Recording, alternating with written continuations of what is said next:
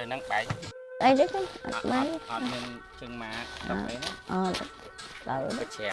ចាចាតែណាគេគេដាក់នេះតិចដាក់ជិះមិញអត់ទេដាក់ដូចមិញតែដាក់មកវិញខ្លួនខ្ញុំណាដាក់អង្គបជ្រះចា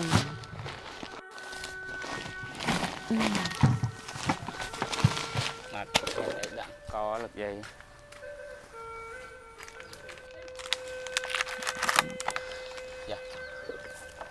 ចូលនេះដា ក៏បានលោកយើងសែនលោកយើងចាដាក់នេះចាដូចជាហើយខទៀតគុណអញទាំងពីរនេះមិនដុំប៉ុណ្ណាទេសម្រាប់ជនលោកយាយគាត់ឃើញលោកយាយវីដេអូមុនលោកយាយអង្គរចាគាត់ឲ្យខ្ញុំទិញអង្គរទិញសម្ភារៈមានត្រីខមានមីមានទឹកត្រីទឹកស្អៀវហើយនឹងអង្គរយកមកជូនដល់លោកយាយចាយាយឈរកាត់ដែរឈរកាត់ដែរកូនខ្ញុំគាត់លោកយាយឈរលក់ត្រីរាល់ថ្ងៃគាត់បន្តិច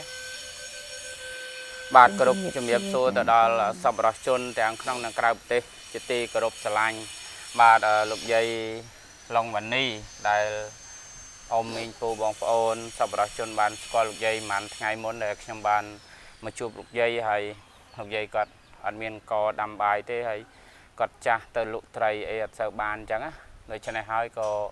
បានសប្បុរសជនគាត់មើលវីដេអូនឹងឃើញហើយគាត់ប្រាំផ្ញើតាមរយៈខ្ញុំបាទ សម្បត្តិជនបានមកជួបលោកយាយសាជាថ្មីដោយនាំយកនៅជំនួយឧបត្ថម្ភ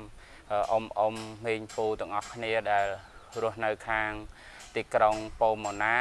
បាទរដ្ឋ California សហរដ្ឋអាមេរិកដែលខ្ញុំបានមកជួបដល់លោកយាយហើយទាំងអស់នេះជាទឹកចិត្តរបស់សប្បុរសជនចិត្តបុណ្យចិត្តធម៌ដែលគាត់បានមើលឃើញណាលោកយាយបាទចឹងជំរាបសួរលោកយាយសាជាថ្មីបាទសួរអារម្មណ៍លោកយាយបន្តិច សួរឃើមកញអាបាទសចាំខ្ញុំអរគុណកូនខ្ញុំបានជំនួយនឹងគឺថាខ្ញុំអរគុណខ្លាំងណាស់គ្មានអីប្រៀបទេចាខ្ញុំក៏អ្នកពំនាំមកដែរទេណាលោកអឺយាយខ្ញុំសប្តាហ៍ថ្ងៃនេះខ្ញុំបេះបន្លែបេះអីដល់បន្លែឥឡូវលក់ក៏មិនដាច់យកត្រីគេទៅលក់បើលក់វាអត់ដាច់ទេកូននៅសល់ក្នុងផ្ទះឥឡូវខ្ញុំរៀបដំណើរទៅទៀតហើយឥឡូវបានជំនួយដែលកូនផ្ញើមកតាមកូនសម្បត្តិជន ខ្ញុំជូនពរកូនសូមអរគុណច្រើនណាកូនណាសូមអរគុណច្រើនចាបាទដែលចា៎ម្ចាស់ជំនួយហ្នឹងគាត់រួមគ្នាជាមួយបងប្អូនញាតិមិត្តក្រុមគ្រួសារគាត់ទាំងអស់គ្នាណាលោកយាយចាចាចានៅខាងទីក្រុងប៉ូម៉ាណាប្រហែលគ្រួសារបងប្អូនសាច់ញាតិរបស់អ្នកមេងលោកពូបងអ៊ំអីទាំងអស់គ្នាដែលគាត់មានចិត្តបុណ្យចិត្តធម៌ជួយដល់ចាស់ជរាខ្សត់ខ្សោយនៅតាមសហគមន៍ផ្សេងផ្សេងៗហើយអឺ ឃើញលោកយាយក៏គាត់អាណិតក៏ធ្លាប់មើលឃើញ បាទធ្លាប់មើលឃើញធ្លាប់ជួយលោកយាយផ្សេងផ្សេងៗដែរប៉ុន្តែមករយៈពីមុនក៏មានសប្បុរសជនបានជួយដល់លោកយាយដូចថាមានជាស្បៀងជាអង្គជាថវិកាអីខ្លះប៉ុន្តែមករយៈពី3ខែក្រោយមកហ្នឹងក៏ខ្ញុំបានមកជួបលោកយាយដែរតែអឺបានសប្បុរសជនជួយអង្គម្ដងម្កាលឯដែរ ហើយដែលជាប់ជាប្រចាំហ្នឹងគឺជាថវិកាដែលសប្បុរសជនបានជូនមកជាប្រចាំខែគាត់នឹងដោះស្រាយបានខ្លះប៉ុន្តែជីវភាពលោកយាយมันបានប្រសើរទេដោយសារលោកយាយគាត់វ័យបញ្ជនច្រើន គេហៅថាមួយថ្ងៃកាត់មួយថ្ងៃកោចាកូនឆ្នាំសង្កូវហើយការទៅរហ្នឹងក៏មិនសមប្រកបដោយគេអ្នកនៅមានកម្លាំងក្មេងទី1ទី2ទៅរហ្នឹងក៏មិនបានជាប់លាប់រាល់ថ្ងៃបាទ ដូចថាថ្ងៃណាកម្លាំងទៅរួចក៏ទៅរកើតទៅថ្ងៃណា ទៅអត់រួចក៏ទៅរអត់បានក៏សល់របស់ហ្នឹងត្រីអង្កែបបន្លែប្លុកអីនៅឯងពេញកធុនពេញចានដែកវះហាលអីខាត់ដើមខាត់ចុងអញ្ចឹងទៅក៏មានដែរបាទប៉ុន្តែសួរថាឥឡូវចៅសួរទៅលោកយាយហ្មងណាចា ហើយចុះវ័យចាស់ហើយមានសប្បុរសជនខ្លះគាត់សួរគាត់ឆ្ងល់ហើយណាចាគាត់ថាចុះលោកយាយដល់ទៅ8ជាងហើយ81ហើយមិនបាននៅបដ ாய் ឲ្យលោកយាយទៅរកទៅធ្វើទៅលក់ដូរអីអញ្ចឹងទៀតមិនក៏មិនឲ្យលោកយាយនៅសម្រាប់អញ្ចឹងទុកឲ្យលោកយាយអ្នកឆ្លើយវិញបាទឥឡូវខ្ញុំសូមជំរាបទៅកូនទាំងអស់អឺព្រោះខ្ញុំសប្តាហ៍ថ្ងៃនេះខ្ញុំមានកូនក៏ខ្ញុំសង្ឃឹមអត់បានចាព្រោះកូនសង្ឃឹមអត់បានទេកូនព្រោះកូនវាក្រីក្រ អញ្ចឹងគេមានប្តីមានពុនរៀងខ្លួននៅខ្ញុំអត់សង្ឃឹមបានកូនវាក្រហើយនឹងជីវិតខ្ញុំខ្ញុំក៏មិនចង់ទៅតោងទាមគេកុំឲ្យប្តីប្រពន្ធគ្រួសារគេឆ្លោះគ្នាដោយសារខ្ញុំអញ្ចឹងខ្ញុំខំប្រឹងទៅបើប្រឹងហើយប្រឹងវាមិនបានដឹងធ្វើម៉េចកូនព្រោះខ្ញុំវាខំអស់សមត្ថភាពហើយខ្ញុំដើរដីរាប់គីឡូដើរលក់លក់ទៅមានគេ ជួយទៅក៏ខ្ញុំមានកម្លាំងបានដើរមកឲ្យគេថ្ងៃណាបើខ្ញុំលក់អត់ដាច់អញ្ចឹងកូនខ្ញុំត្រូវពិបាកចិត្តច្រើនចាព្រោះខ្ញុំអត់មានដើមនឹងបបិលសងគេឥឡូវនេះតិចទៀតប្រហែលជាម៉ោង3ខ្ញុំចេញដំណើរទៅទៀតណាកូនព្រឹកមិញខ្ញុំចេញលក់តាំងពីម៉ោង5ដល់ម៉ោង12បានខ្ញុំចូលមកដល់ផ្ទះដល់មកដល់ផ្ទះត្រីណាងាប់ទៅធ្វើទៅបន្លាក់ទៅអីទៅតែខ្ញុំពិបាកណាកូនបើខ្ញុំខ្ជិលច្អោសខ្ញុំមកថាខ្ញុំខំដែរ បើនៅទំនាយបុណ្យរបស់ខ្ញុំមិនក៏វាដល់ថ្នាក់ហ្នឹងចាវាអត់មែនតើកូនចឹងបាទខ្ញុំលើករៀនដៃ10ខ្ញុំអរគុណកូន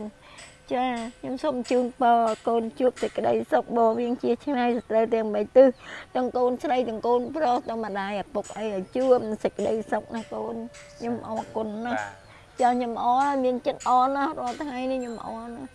ចាបាទអញ្ចឹងខ្ញុំបន្ថែមពាក់ព័ន្ធទៅនឹងមតិយោបល់ដែលសប្បុរសជនធ្លាប់លើកហ្នឹងលើកឡើងមកហ្នឹងថាបានជាលោកយាយនៅតែទៅខំទៅរ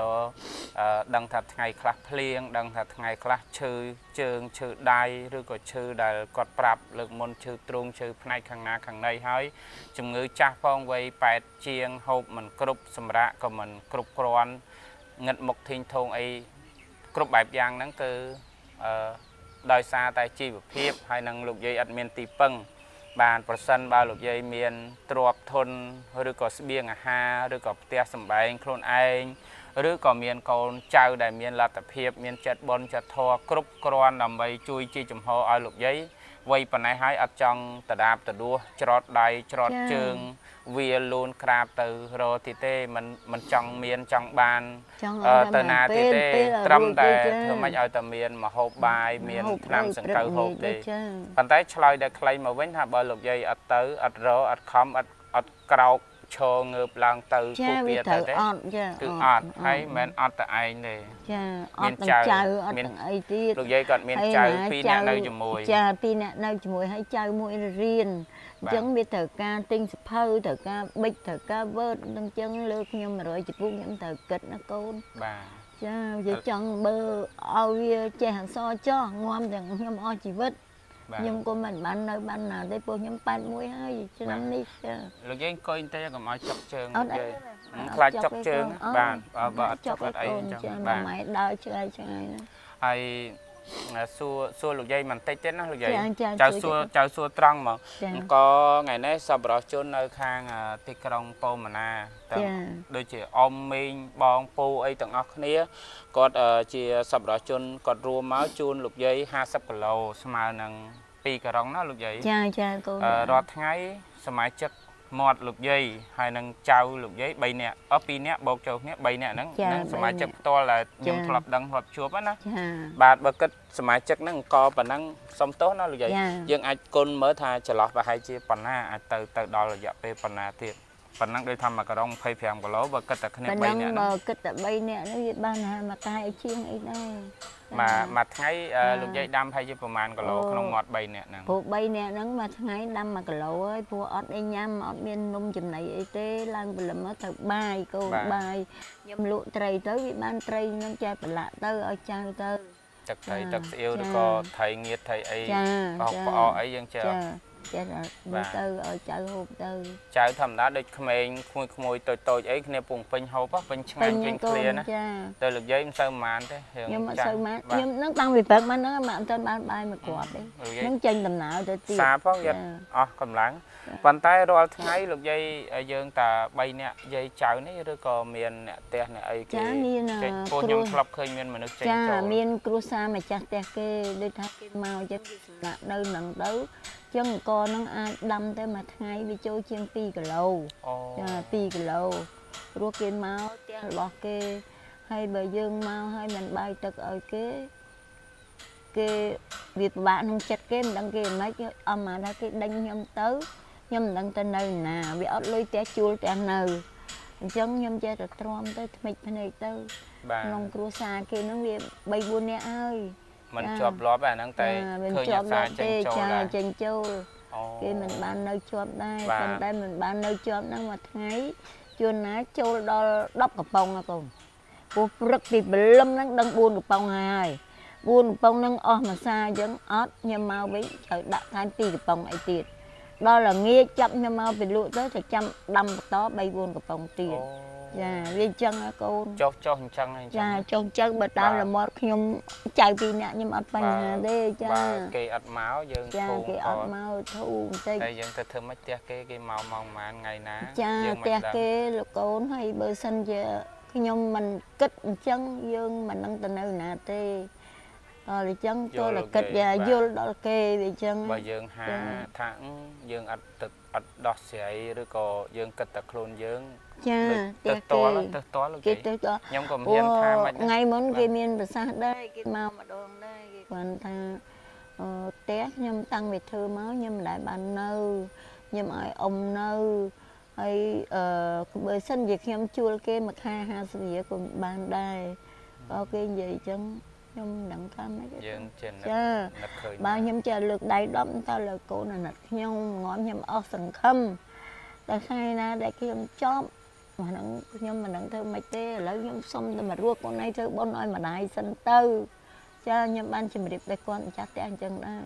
បាទចាអញ្ចឹងហើយគាត់គាត់បានប្រាប់ដែរថាគាត់គ្មានអីជួយទេព្រោះសេដ្ឋកិច្ចឥឡូវវាចុះអញ្ចឹងគាត់បានតែមកឲ្យផ្ទះហ្នឹងនៅហើយនៅនឹងផ្ទះហ្នឹងវាច្រេះ ភ្លៀងពីមុខភ្លៀងពីក្រោយវាបែកបាក់ច្រេះទ្វារមុខអីអស់ខ្ញុំបានប្រាប់គាត់ខ្ញុំថាភ្លៀងវាសាចពីមុខពីក្រោយម្លោះឲ្យវាច្រេះឥឡូវម៉ាក់ធ្វើម៉េចអញ្ចឹងបាក់ផ្ទះឥឡូវហ្នឹងបែកបាក់អស់លេងហើយហើយខ្ញុំថាដបូលហ្នឹងកូនឯងអាចបានធ្វើដបូលម្លោះឲ្យភ្លៀងមកវាដក់វាអីទៅបាទវាកម្មជាដើរអាក្រោយហ្នឹងវាត្រូវភ្លៀងខ្លាំងមកអាទឹកនោះវាចាល់វាហូរតាមកម្មជាដើរខ្ញុំបាននិយាយប្រាប់គាត់អញ្ចឹង អូយផ្ទះនេះដីនេះដីលោក្នុងទឹកដីលោក្នុងទឹកម្លោះហើយដល់ភ្លៀងមកវាអាទឹកហ្នឹងវានៅសងខាងទៅវាបៀមវាពុកអញ្ចឹងហ្នឹងខ្ញុំបាននិយាយប្រាប់គាត់អញ្ចឹងចានេះទឹកចិត្តចាអឺម្ចាស់ផ្ទះគាត់ឲ្យយើងនៅចាបាទគាត់ឲ្យយើងនៅហើយតែម្ដងម្កាលយើងវាចាទៅតល់រឿងប៉ុណ្ណឹងទេចាអឺខ្ញុំសង្ឃឹមថាសប្បុរសជននឹងមានការយោគយល់ដល់លោកយាយដែរពីព្រោះកុំថាតែលោកយាយបើសម្រាប់ខ្ញុំ យើងនៅផ្ទះគេគេហៅថាចាជ្រកចាអឺជ្រកដំបូលផ្ទះអ្នកចាដតីយើងត្រូវជ្រកម្លប់ឈើណាចាយើងត្រូវចាអាស្រ័យនឹងម្លប់ឈើណាយើងត្រូវចារលឹកត្រូវស្រោចទឹកដល់ម្លប់ដល់ដើមឈើនោះវិញចាអញ្ចឹងអឺយើងនៅផ្ទះគាត់មែន គាត់អត់យកលុយយកប្រាក់រាប់ខែរាប់ឆ្នាំមកហើយហើយ មានកូនមានក្មួយប្អូនឬក៏បងគាត់ប្អូមកនខាងម្ដងគាត់ម្កាលមកអីចាអឺមួយថ្ងៃមួយថ្ងៃពីរថ្ងៃអីធម្មតាក៏អត់មានចានមានឆ្នាំងអីនៅហ្នឹងឯងដល់អញ្ចឹងអាស្រ័យបាយទឹកអីជាមួយនឹងអឺឆ្នាំងចារួមជាមួយលោកយាយទៅវាចុះខ្ញុំអត់បានចាប់ផ្លឹកនឹកកន្លែងចំណុចហ្នឹងដែរប៉ុន្តែចាខ្ញុំចាចង់ឲ្យលោកយាយគិតគុណគូនេះ គាត់នឹងចង់ដឹងមើលថាអង្គប៉ុណ្ណឹងតើប្រហែលអាចចន្លោះពេលបានប៉ុណ្ណាទៅមុខទៀតគេលោថាចាលោកយាយអាចលេយពោះកាលណាយើងគិតច្បាស់អញ្ចឹងណាចាយើងលោកយាយផ្ទាល់ក៏អាចនឹងលេយគិតចេញថាអឺអស់ពីហ្នឹងទៅបន្ទាប់អស់ពីអង្គដែលសពរស់ជនជួយហ្នឹងលោកយាយត្រូវត្រៀមអីទៀតដើម្បីដោះជីវភាពបន្តទៀត ឬក៏សប្បុរសជនដែលគាត់បានឃើញវីដេអូហ្នឹងទៅអាចនឹងមានសប្បុរសជនផ្សេងទៀតគាត់គិតថាអូឥឡូវបាន មានអឺគេជួយលោកយាយបានអង្គប៉ុណ្ណឹងហើយអញ្ចឹងប្រហែលជាខ្ទង់មួយខែជាងមួយខែកន្លះអីទៀតឥឡូវខែ10ដាច់2ថ្ងៃចាមួយថ្ងៃពីថ្ងៃទៀតដាច់ខែ10ហ្នឹងអាចនឹងចូលខែ11ខែ11ផុតទៅចូលខែ12វិញទៀតបានលោកយាយអាចអស់អង្គអីទៀតចឹងចាណាចាបាទ ដូច្នេះហើយខ្ញុំអរគុណបញ្ជាក់ចំណុចនេះទៅដល់សប្បុរសជនលោកយាយលោកតាបងមីងអ៊ំអីដែរដោយសារចៅចៅលោកយាយក៏កំពុងពេញវ័យកម្លាំងហូបដែរហើយលោកយាយយើងអត់មានថវិកាអីផ្សេងទៅទិញម្ហូបអាហារនំនែកបបរបបៀកបអែមឆ្អាបអីឲ្យវាបានដូចថា ជិបជប់ជិបជប់ចឹងទៅឲ្យដូចថាមិនសូវឃ្លានអត់ទេបើកផ្នែកឡើងគឺដឹងតែបាយកកបាយក្តាំងក្នុងឆ្នាំងហ្នឹងទៅតែវាមួយយ៉ាងមិញហ្នឹងចុះដែរបាយនឹងដួសមួយចាននឹងកំពុងកំពុងមួយថ្ងៃ3ដងបាទអាមួយមិញហ្នឹងដល់អញ្ចឹងទៅរៀងចុះបាទយើងចុះអីចឹងអញ្ចឹងក៏ចាអរគុណសូមទៅដល់អរគុណសប្បុរសជនទាំងអស់គ្នាហើយ មួយទៀតខ្ញុំសុំសួរមកមកមកមកចាចំណុចសួរទៀតចាលោកយាយសួរចាតើតឹងនឹងលោកយាយយួរអីទៅទៅលក់នេះយួរធម្មតាលោកយាយមានចានដែកឬក៏មានធុងបេត្រូលដាក់ត្រីដាក់ចាបន្លែអីទៅលក់ចឹត្រីងហ្នឹងបើជួយនៅជួយយើងអត់ចង់និយាយថាលោកយាយយើងអត់មានរកកង់អីធាក់ដប់អីកោតទេណាម៉ែតួកង់ខ្លួនឯងឲ្យសុឌីតាហ្នឹងណាកាលមុនហ្នឹងអឺកង់ហ្នឹងដល់សុឌីតាទៅរៀនទេព្រោះម៉ែអត់មានកម្លាំងទប់បាទបើកាលណាដាក់ត្រីមកធុងអានេះ យើងកដៀតខាងនេះវាកម្លាំងវាមាំបាទហើយកាលណាដាក់ឲ្យដឹកវិញនៅតិចដួលទីទូអីតិចដួលចាបើដួខ្ញុំលខ្ញុំគិតចឹងប្រហែលជាត្រូវហើយណាលោកយាយចាខ្ញុំគិតចាថាវ័យ8ជាងហើយបើឲ្យលោកយាយដើរដើរដូចនឹងជាងជិះកង់ចាចាបាទហើយខ្ញុំជំរាបទៅកូនព្រោះព្រឹកមិញហ្នឹងទី3ថ្ងៃថ្ងៃហ្នឹងបានសិនសុកគាត់ឲ្យខ្ញុំរៀបចំឲ្យខ្ញុំលក់គាត់ថាខ្ញុំគាត់សួរខ្ញុំដែរខ្ញុំថាខ្ញុំដើរកូនឥឡូវខ្ញុំអស់ខ្យល់ហើយខ្ញុំដើរនឹងដើរគ្រប់នីតិ ចាកលុកកលៀតណាគាត់ទៅទៅពីហ្នឹងទៅដល់សំរោងដែរពីសំរោងដែរទៅផ្សារ AC ពី AC ទៅអាឡែងផ្សារដល់អាទេភ្លើងពីទេភ្លើងចេញមកឈូកបា2ពីឈូកបា2មកឈូកបា1ដល់គាត់អាណិតខ្ញុំពេកក៏គាត់ញែកកន្លែងក៏ឲ្យខ្ញុំអង្គុយលក់ទៅដល់ពេលកាលណាខ្ញុំក្តៅលោកគ្រូពេទ្យលក់ណាំពេទ្យហ្នឹងគាត់ថាម៉ែអញមកលក់ខាងមុខមកលក់បន្តិចទៅ ចាបាទគាត់ក៏រឿងត្រីអីវាឆ្អាប់ចេះនៅកន្លែងគេដែរគេលក់ណាំពេទ្យណាកូនបាទចាហើយព្រឹកហ្នឹងសិនសុកគេឲ្យលក់កន្លែងហ្នឹងកន្លែងកូនជួបខ្ញុំថ្ងៃមុនហ្នឹងបាទលោកយាយបាទចាអូខ្ញុំទៅណាក៏គេមានធម៌ដែរតែយាយខ្ញុំខំឆ្ងាយប្រឹងណាស់លោកចាយាយខ្ញុំដើរឆ្ងាយឥឡូវខ្ញុំចង់ដួលទៅកូនបើបានមកអង្គុយហ្នឹងអង្គុយដល់លក់អស់គាត់បានមកចាឥឡូវលោករៀបចំយាយទៅរយជើងអង្គុយអត់អីទេកូន ហើយដល់ពេលហ្នឹងម៉ាក់ទៅលក់ទៀតឥឡូវទៅទៀតឥឡូវហ្នឹងម៉ោង3ហ្នឹងដល់អង្គុយសកុកបានងាប់ត្រូវគេទិញបាទចាអញ្ចឹងណាកូនបានខ្ញុំឥឡូវហ្នឹងអារម្មណ៍ពងព្រួយចិត្តហ่ะពុយចិត្តរឿងត្រីចាអត់ទាន់អស់ហើយណាលោកយាយអណាត់ទាន់អស់ហើយយើងបាទខ្លាចលក់វាមិនបានឲ្យគេបាទលោកយាយអញ្ចឹងណាកូនបាវាទសំខាន់ណារឿងហ្នឹងចា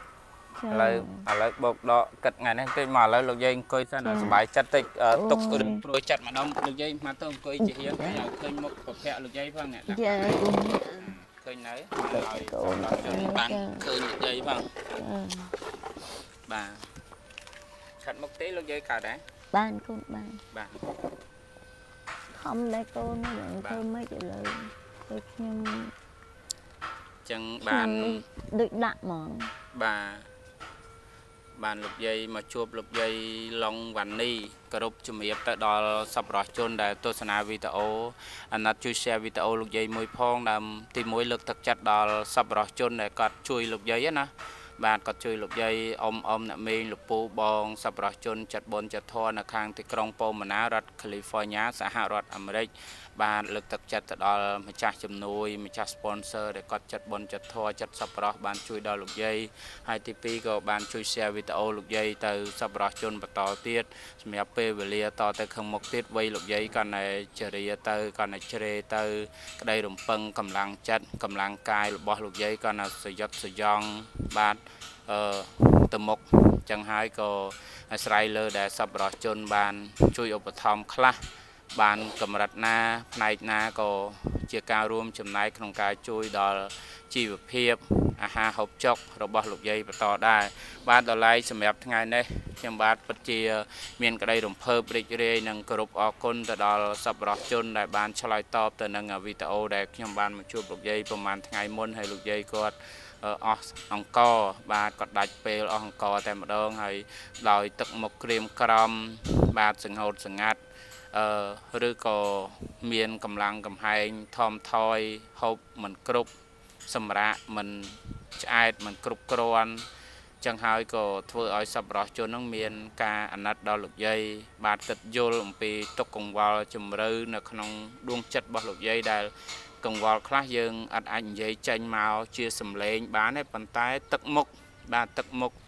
អឺទឹកភ្នែកឬក៏ទឹកមុខសពពសពោនហ្នឹងគឺបង្ហាញអំពីជំរឿនៃដួងចិត្តដែលបង្កប់ទៅដោយអត្តន័យ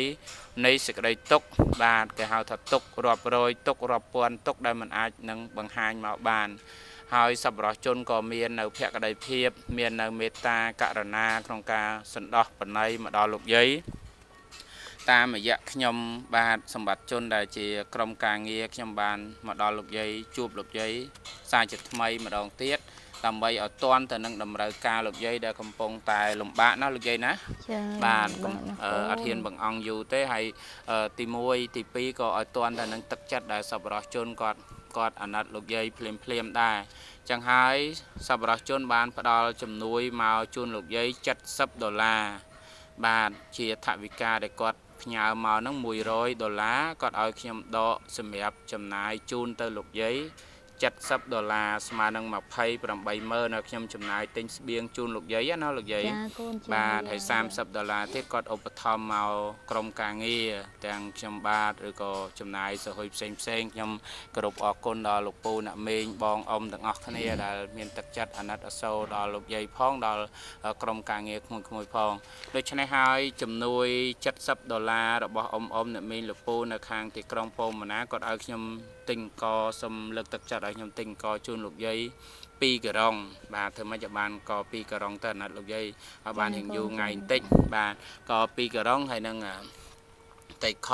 តៃខមួយយួរមើលមាន2 4 6 8 10មាន10កំប៉ុងណាលោកយាយចាកូនអឺអត់ហ៊ានទិញស្អីលើសពីនឹងទេដោយសារខ្ញុំបានពិភាក្សាមួយសប្បុរសជនថាត្រីងៀតត្រីឆ្អើអីមិនបាច់ទេលោកយាយលក់ត្រីអញ្ចឹងកាលណាតែថ្ងៃណាគាត់លក់អត់អស់ គាត់វះងៀតហើយចាអញ្ចឹងវះងៀតអាចថាគាត់ធ្វើផ្ទាល់ដៃអញ្ចឹងវាថ្នឹកមាត់ជាងហើយធូរថ្លៃជាងយើងទិញតពីផ្សារមកណាលោកយាយចាចាអញ្ចឹងហើយទីមួយខ្ញុំទិញទាំងកទេ2ការ៉ុងនេះបាទមួយការ៉ុង70000ពីរការ៉ុងហ្នឹងគឺ140,000បាទ35ដុល្លារហើយតែខនេះ26000បាទមីនេះ24000ហើយនឹងអាទឹកត្រីទឹកស្អៀវវាយើងទិញរាយ3ដុល្លារ12000 ក្នុងមួយយួរមួយយួរ10 10 10 6ដបតែបើយើងទិញខ្ញុំទិញជាដុំដុំអញ្ចឹងគេគិតតែ10000 10000នេះមួយដបតែមួយដបតែ1000ជាងបន្តិចទេលោកយាយចាចាកូនទុកទៅទុកឲ្យជាប់ប្រហែលបាទអញ្ចឹងហើយនេះ10000 20000 26000និង24000បូកចូលគ្នា70000 70000និង70000ទៀត70000ទៀត7 3ដង210,000បាទ210,000 ហើយលុយ70ដុល្លារមាន280,000អញ្ចឹងត្រូវនៅសល់70000ទៀតពីព្រោះ7ម្ដង7 7 2ដង14 7 3ដង21 7 4ដង28ត្រូវណាលោកយាយណាចាកូនចាអាបូកមេលេងតិចដូច្នេះហើយក៏បានអឺលំអិតជូនឲ្យបានគ្រប់ជ្រុងជ្រោយទៅដល់ម្ចាស់ជំនួយទៅដល់សប្បុរសជនហើយលោកយាយទុកដាក់របស់នេះ សុបុលទៅត្រីខអីមីអីអានេះអឺករណីថ្ងៃណាមេឃភ្លៀងមេឃអីលោកយាយអត់មកហូបអត់អីចឹងទៅយើងម្ដងមកកាលទៅមីអីចឹងណាបាទបាទ ខ្ញុំតំណាងជូនសប្បុរសជនទាំងអស់គ្នាសូមអមអមអ្នកមីងលពូដែលជាម្ចាស់ទាននៅខាងទីក្រុងប៉ូម៉ាណារដ្ឋកាលីហ្វ័រញ៉ាក៏ដូចជាសប្បុរសជនដែលស្រឡាញ់អាណិតដល់លោកយាយទាំងអស់គ្នាបានទស្សនាវីដេអូលោកយាយហើយចេះចង់ឲ្យសប្បុរសជនផ្សេងផ្សេងៗបានជួយដល់លោកយាយឥឡូវនេះអឺមានសប្បុរសជនជួយលោកយាយហើយបានសម្រេចបំណងហើយសូមចូលរួមត្រេកអរជាមួយគ្នាហើយខ្ញុំតំណាងឲ្យអ្នកមីងលពូបងអមខាងម្ចាស់ជំនួយនៅប៉ូម៉ាណាជូនអឺ ជារួមសរុបទាំងអស់70ដុល្លារណាលោកយាយចាកូនបាទចៅជូនអ่าជូនជូនចេះលោកយាយបាទនេះអឺ70000លោកយាយបាទលោកយាយរាប់មើលគ្រប់ដែរ បីមកអីកូន70000ហើយអីវ៉ាន់ទាំងអស់នេះអង្គមកក្រុង70000ទៀតអាក្រុងទី2 7ទៀត14អីវ៉ាន់មកមកខាងលើមានមីមានត្រីខទឹកត្រីទឹកស្អៀវ70000ទៀតវា210,000ណាលោកយាយណា21និងបច្ច័យលុយកាក់70000ទៀត28ចាគ្រប់ចៅបជាឲ្យបានគ្រប់អញ្ចឹងអាលោកយាយទទួលសម្ភារៈទេលោកយាយជួយទទួលអង្គនេះដាក់ដៃលើហ្នឹងឲ្យបានទទួលខ្ញុំតំណាងឥឡូវលោកយាយអំពាវនាវទៅសប្បុរសជនឆ្លើយតបមកវិញសំទៅនឹងទឹកចិត្តរបស់លោកយាយជាការរួមចំណែកដោះស្រាយជីវភាពលោកយាយផង ជាការឆ្លើយតបទៅនឹងកម្លាំងចិត្តលោកយាយផងកុំឲ្យលោកយាយមានអារម្មណ៍មួយថាអឺកំសត់ឯកាណាស់ឥឡូវតល់តម្រេះ ទៅមុខមិនរួចអស់សង្ឃឹមអីសូមឲ្យលោកយាយមានទឹកចិត្តតស៊ូបន្តទៀតជំនះឧបសគ្គក្រាញនានាលពុះពៀទៅមុខទៀតកុំឲ្យបាក់ទឹកចិត្តកុំឲ្យតូចចិត្តអន់ចិត្តឬក៏គិតច្រើននាំឈឺខ្លួនហើយថែសុខភាពពិសាបាយឲ្យបានច្រើនសុខចម្រើនកើនអាយុណាលោកយាយណាចាបាទសាធុសាធុ លោកយាយហៅគាត់ចា៎ប្អូនក៏បានដែរចា៎ជាគាត់ដូចជាវ័យខ្ញុំមិនដឹងវ័យម៉ាលោកយាយហៅគាត់ជាប្អូនចា៎អីចឹងចា៎ប្អូនចា៎បងអីទាំងអស់ឥគ្នាឡូវខ្ញុំសូមជូនពរដល់កូនដែលនៅប្រទេសគេម៉ាក់ក៏អត់ចាំព្រោះអាយុច្រើនម៉ាក់វិញមិនដែរបាទឥឡូវម៉ាក់សូមជូនពរកូនឲ្យកូនជួបសេចក្តីល្អសេចក្តីប្រាថ្នាហើយឲ្យកូនទៅចិត្តទៅឆ្ងាយក្នុងគ្រួសារម៉ែឲ្យកូនចៅអីឲ្យមានរៀនមានបញ្ញាឲ្យកូនមានលុយមានកាក់ឲ្យច្រើន បានអាណិតមេត្តាធម៌មកជួយដល់ម្ដាយអត់ណាកូនសូមជូនពរសូមជូនពរដល់កូនកូនទាំងពីរឲ្យកូនជួបសេចក្តីសុខឲ្យកូនប្រាថ្នាអ្វីអ្វីដូចសេចក្តីប្រាថ្នាឲ្យកូនទៅចិត្តទៅឆ្ងាយមានអ្នកទូចអ្នកធំស្រឡាញ់កូនឲ្យកូនទៅឆ្ងាយមានសមត្ថភាពទៅក៏សមត្ថភាពមកសមត្ថភាពណាកូនណាម៉ាក់ជួយពរកូនទាំងពីរ ចាកូនបានលុយបាទអត់ទេលោកយាយអឺអត់អឺលុយកាក់អីទេជូនតែលោកយាយទាំងអស់ខ្ញុំបានបានអឺបំពេញកិច្ចនៅកសលទានដែលសប្បុរសជនបានផ្ញើមកជូនដល់លោកយាយខ្ញុំបានបំពេញកិច្ចហើយទី1សូមមកទិផ្សាយនៅផលបុណ្យនេះជូនដល់បុព្វការីជនរបស់សប្បុរសជនទាំងអស់គ្នាដែលគាត់បានបាក់បែកចែកឋានទៅមានអឺ ពុកម្ដាយជីដូនជីតាញាតិមិត្តគ្រូឧបជាយាយចាចិត្តឆ្ងាយដែលជាអ្នកមានគុណរបស់សប្បុរសជនសូមឲ្យគាត់បានមកទទួលផលអានិសង្សពីសប្បុរសជនអអ៊ំមេងពូលោកយាយលោកតានៅខាងទីក្រុងពោធិ៍មណាទាំងអស់គ្នាផងហើយគាត់បានរួចផុតចាក់ទុកខ្ញុំបាទក៏សូមតំណាងឲ្យសប្បុរសជនផ្សាយនៅផលបុណ្យនេះជូនចំពោះបាទសពសត្វទាំងអស់ បាទទាំងនៅទីចិត្តទីឆ្ងាយគ្រប់ទីកន្លែងមានកម្មពៀវរានឹងគ្នាអ្នកមានចិត្តកំណត់បៀតបៀនចងអាឃាតព្យាបាទឬក៏ មាននិស័យអកុសលឯណាជាមួយគ្នាក៏ដោយក៏សូមឲ្យផលបុណ្យដែលសប្បុរសជនបានធ្វើក្នុងពេលនេះផ្សាយទៅកាន់សពសត្វទាំងអស់នោះសូមឲ្យមានចិត្តមេត្តាផ្សាយមេត្តាធម៌ដល់គ្នាហើយរួចផុតចាកទុក្ខរស់នៅជាសុខទាំងអស់គ្នា បាទក៏សូមគោរពជូនពរទៅដល់សប្បុរសជនម្ចាស់ជំនួយទាំងក្នុងនិងក្រៅប្រទេសជាពិសេសម្ចាស់ទានដែលបានផ្ញើថវិកាមកទាំងបានបានសូមមានទឹកមុខញញឹមញញែមប្រំប្រៃរីករាយសាទរនឹងផលបុណ្យដែលអ៊ំដែលមេងដែលពូលោកយាយលោកតាបានធ្វើទាំងអស់គ្នាហើយសូមបញ្ចេញនៅសពសាធការពរ3ដង សាធុសាធុ3ដងដើម្បីទទួលយកផលបុណ្យទាំងអស់គ្នាសូមអនុមោទនាផលបុណ្យបានសាធុខ្ញុំបាទក៏គោរពជូនពរដល់ប្រិមិត្តបងប្អូនជនរួមជាតិទាំងក្នុងនិងក្រៅប្រទេសដែលស្រឡាញ់អាណត្តិចូលចិត្តនិងគ្រប់គ្រងនៅសកម្មភាពសប្បុរសធម៌របស់ក្រមការងារខ្ញុំបាទយើងខ្ញុំទាំងអស់គ្នា បាទសូមឲ្យបានមគ្គផលកុសលអានិសង្សទាំងអស់គ្នា ហើយសូមជួយ share វីដេអូលោកយាយឲ្យម្នាក់មួយផងជាការគ្រប់គ្រងនិងលើកទឹកចិត្តដល់សប្បុរសជនម្ចាស់ជំនួយផងជួយចែករំលែកនៅវីដេអូលោកយាយផងក៏ដូចជាគ្រប់គ្រងនិងលើកទឹកចិត្តដល់ក្រុមការងារយើងខ្ញុំទាំងអស់គ្នាផងហើយរាល់មតិយោបល់ផ្សេងផ្សេងៗអាចតាក់ទងមកកាន់ខ្ញុំបាទសម្បត្តិជនតាមរយៈលេខទូរស័ព្ទ096 424 22និង22 សម្រាប់ជាមតិយោបល់កែលម្អសព្វនាឬក៏ផ្ដល់ជាជំនួយឧបត្ថម្ភផ្សេងផ្សេងៗឬក៏អាចតាក់ទងមកស្វែងរកលោកយាយផ្ទាល់ដែលលោកយាយបានអឺស្នាក់អាស្រ័យនៅនឹងផ្ទះអ្នកដតីគឺស្ថិតនៅសហគមន៍ខ្មែរលើ បាទសង្កាត់គោករកាខណ្ឌព្រែកភ្នៅរាជធានីភ្នំពេញបាទគណៈនេះពេលវេលាក៏ចូលមកដល់ទីបញ្ចប់ហើយខ្ញុំបាទសម្បត្តិជនសូមអរគុណគោរពជំរាបលាបាទជួបគ្នានៅឱកាសក្រោយបាទសូមអរគុណកូន